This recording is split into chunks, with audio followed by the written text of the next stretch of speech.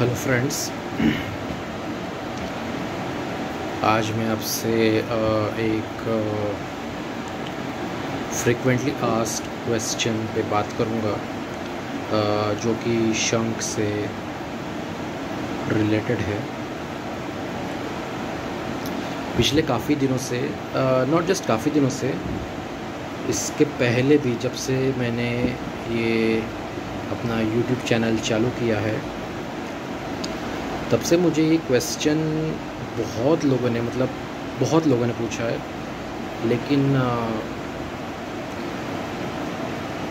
मैंने कभी ध्यान दिया नहीं इस क्वेश्चन पे।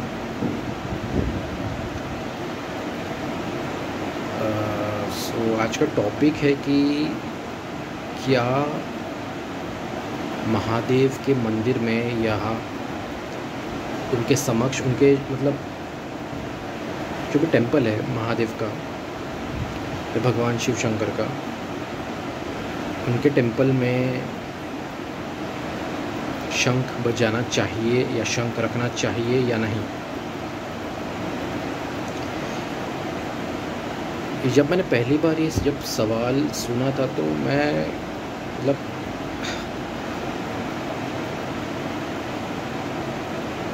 थोड़ा सा हंसा था मैं मतलब ये सवाल सुन के मतलब किस तरह की मान्यता, किस तरह का मिस मिसकंसेप्शन सा डेवलप हो गया है महादेव जी के प्रति?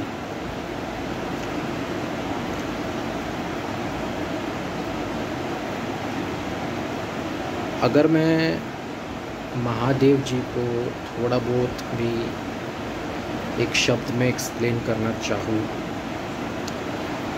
तो वो ब्लिस है एक्सटेसी है हैप्पीनेस है। वो एक स्टेट है। लॉर्ड शिवा जो शिवा या महादेव या भगवान शिव शंकर, वो जो जिस डिमेंशन में वो होंगे या जो भी वो स्टेट है, वो प्योर एक्सटेसी प्योर हैप्पीनेस ये वो स्टेट है। तो अगर आप उनके सामने शंख बचा रहे हो, जो कि एक डिवाइन फ्रिक्वेंसी एमिट करता है तो आप अपने आप को धोखा दे रहे हो। पता नहीं कहाँ से मान्यता आगे कि हाँ अरे, भगवान शिव शंकर के सामने शंख बजाना नहीं चाहिए। मैंने खुद यहाँ के कई लोकल टेम्पल्स में मैंने देखा है कि भगवान शंकर के सामने वो शंख बजाते हैं और if I am not wrong Nashik में अगर त्र्यंबकेश्वर हाँ त्र्यंबकेश्वर टेंपल जो है वहाँ पे शंख बजता है आरती के दौरान। सो so, पता नहीं कहाँ से मान्यता आ गई कि नहीं बजाना चाहिए। ऐसा कुछ नहीं है। आप बेझिझक होकर शंख बजा सकते हो उनके मतलब मंदिर में शिवलिंग के सामने कुछ भी हो, आप डेफिनेटली बजा सकते हो। मैंने तो मतलब मेरे ऐसे बहुत सारे कस्टमर्स ऐसे हैं जो, जिन्होंने हनुमान गदा शंख मुझसे लिया और वो जो भी कस्टमर्स थे, वो महादेव के भक्त थे। काइंड ऑफ़ मैं ऐसा कहूँगा कि लॉर्ड हनुमान जी, महादेव जी के अंश या अवतार ऐसा समझ के उन्होंने शंख लिया और वो बेझिझक होके महादेव जी के सामने उनके मंदिर में शंख बजाते हैं। नॉट अ बिग डील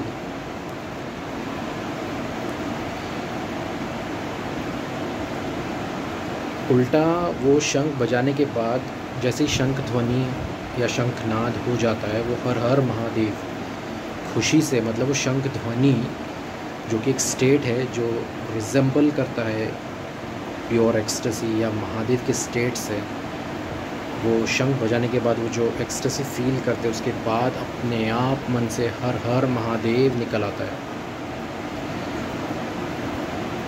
तो आप सोचिए, हर हर महादेव किस भक्ति भाव से निकल आ रहा होगा, वो किस भाव से या किस प्रेम भाव से निकल आ रहा होगा। तो प्रेम भाव तभी आएगा जब आप महादेव की सच्ची भक्ति करते हो, ऐसा नहीं कि वो किस चीज़ से प्रसन्न होंगे, किस चीज़ से दुखी होंगे, ऐसा नहीं है।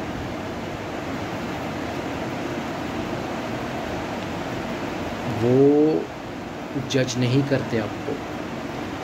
आप बस कुछ भी कीजिए, अगर आपने भक्ति भाव से जो भी आप कर्म कर रहे हो, उनको समर्पित कर दिया तो वो अवश्य प्रसन्न होंगे। भले ही वो शंख, आप दक्षिणावत शंख लेके अभिषेक कर रहे हो, या शंख बजा के शंखनाद करके उनकी आराधना कर रहे हो, अवश्य प्रसन्न होंगे।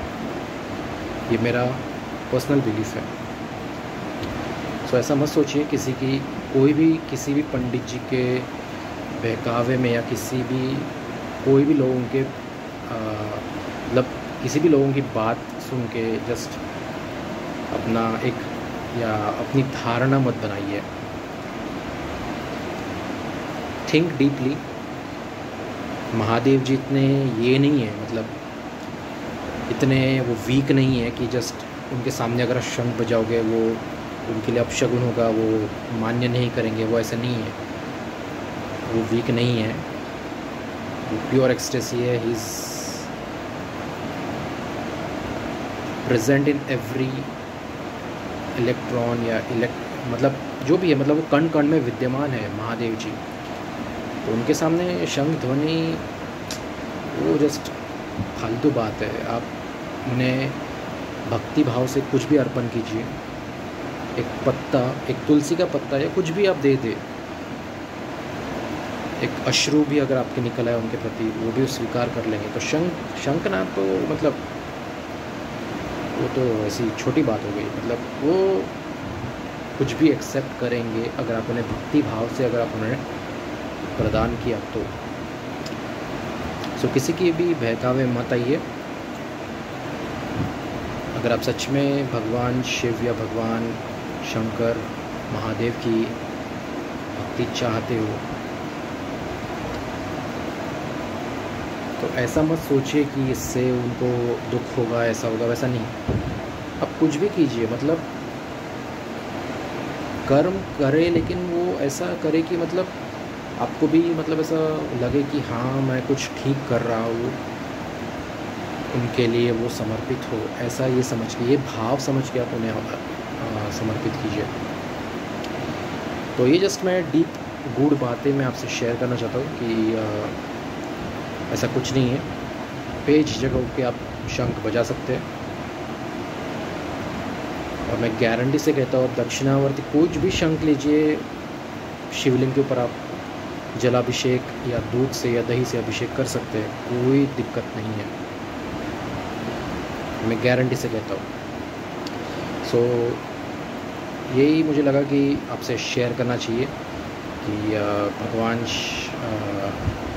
शिव शंकर या भगवान महादेव के प्रति शंकनाथ का कुछ ऐसा लोगों के प्रति मिसकंसेप्शन बैठ गया, वो क्लियर करना चाहिए जो मैंने आज किया। आई होप ये वीडियो आपको पसंद आया हो। Do like and subscribe my channel मैं ऐसे अलग अलग स्पिरिचुअल टॉपिक्स कवर करते रहूँगा और शंकों से रिलेटेड टॉपिक्स भी मैं कवर करते रहूँगा। सो मिलते हैं अगले वीडियो में एक नए टॉपिक के साथ। Thank you so much and जय श्री कृष्ण।